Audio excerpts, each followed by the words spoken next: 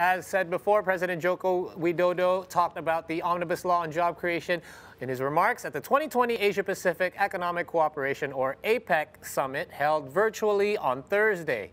President Joko Widodo talked about the omnibus law on job creation in his speech at the 2020 Asia Pacific Economic Cooperation, or APEC, held virtually on Thursday. President Widodo said the law will offer an incentive for businesses and investors to invest in Indonesia.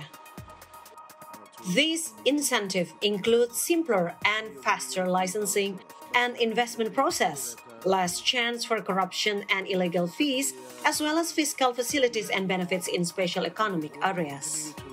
Saya mengundang para CEO dan pengusaha di kawasan Asia Pasifik untuk memanfaatkan peluang dari Undang-Undang Omnibus Law yang baru saja disahkan ini. Saya yakin para pengusaha serta pelaku bisnis domestik dan internasional akan merasakan efek positif dari berbagai potensi dan insentif. The president also said this year is very crucial and difficult time for countries worldwide. The pandemic demands countries to face the challenge despite limitations.